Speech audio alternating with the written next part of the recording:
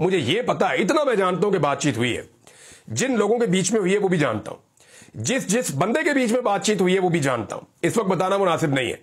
लेकिन यह मैं आपको बताता हूँ कि बातचीत हुई है। जवाब क्या गया, तरीके इंसाफ का और उधर से क्या फाइनल हुआ यह मुझे अभी तक नहीं पता। यह बातचीत कितनी संजीदा है यह मुझे अभी तक नहीं पता। लेकिन बिलावल ने जो खदशे का इजहार किया है, इसको आप हवा में नहीं फेंक सकते। बिलावल ने एक और बहुत अजीब बात की। बिलावल ने कहा जी, कायद मोहम्मद अली जना का ख्वाब था। आईनी अदालत बनाना। तो भाई, अगर बिलावल साहब, कायद आज़म मोहम्मद अली जना का ख्वाब था, आईनी अदालत बनाना तो आपके नाना ने क्यों नहीं बनाई उन्नीस सौ तिहत्तर के आइन को बनाते हुए? तब बना देनी थी कायद आज़म का ख्वाब पूरा कर देना था। ये एक्चुअली वो ख्वाब है बिलावल साहब, जो आपने एस्टेब्लिशमेंट की गोद में गहरी नींद सोते हुए देखा और इसलिए देखा कि अगर आप नींद से जागे तो आपकी हुकूमत नहीं बचेगी।